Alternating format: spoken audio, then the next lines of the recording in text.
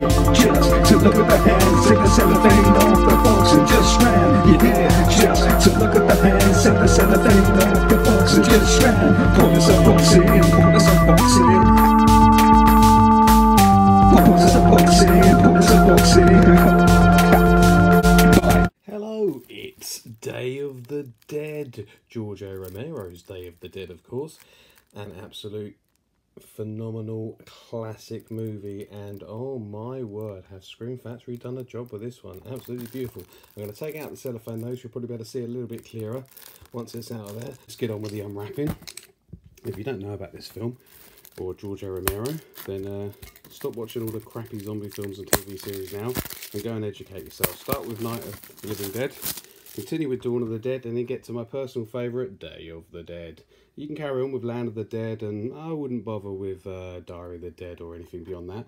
But the man definitely recreated the whole zombie genre, and boy, did he do it well with his social commentary and amazing special effects by Tom Savini, and just brilliant, brilliant storyline, casting, characters, and an oppressive feeling. I'm now watching these films again during Halloween, during my seven days of Halloween, where I watch seven films over seven nights, following ending, of course, on the final night with the big one. So it's hard to see completely on here, so I'm trying to show you the amazing cover there. But wow, as always, Scream Factory have done an absolutely phenomenal job there with Day of the Dead. In a way of extras, we have high Definition Transfer, New Documentary World's End, The Legacy of the Day of the Dead, audio commentary of writer-director George Romero, special effects, makeup artists Tom Savini, production designer Cletus Anderson and actress Lori Cardille, behind the scenes footage from special makeup effects artist Tom Savini's archives, photo galleries, theatrical trailers, TV spots, and more. And on the inside, I wouldn't be surprised we've got a reversible sleeve. Here's the disc, if you're interested in that. And there you go, Day of the Dead, the original. Got a poster of that sitting in my little my little man cave, which I call the Mad Cave. And um, it's going to be Region A, so if you haven't got a American Blu-ray player or a Region 3 Blu-ray player, I'm afraid you're not going to be able to look at that one.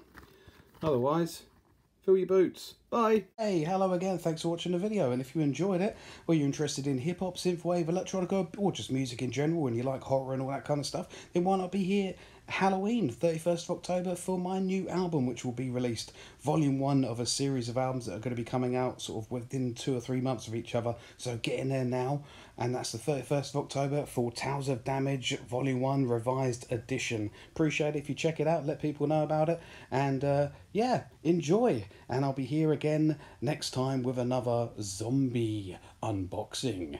Yeah, it's Halloween. Why not? Enjoy. Bye. Hello, hope you enjoyed the video. And I'm here to tell you I also have a podcast. It's Pointless Podcasting.